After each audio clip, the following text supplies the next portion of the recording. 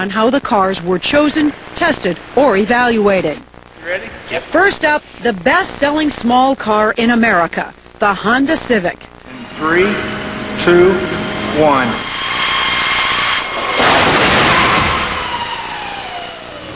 First impressions are that this is, from a structural point of view, done reasonably well. Even though the crash looks dramatic, there are no serious injuries.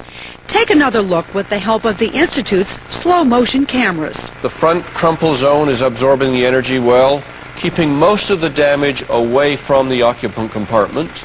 As bad as it looks, O'Neill says this damage actually protects the driver. You see this structural member all twisted and distorted?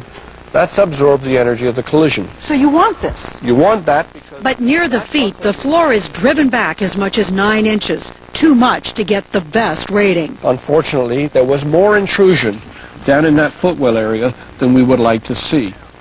So the Institute rates the Honda Civic acceptable. This is the Toyota Corolla.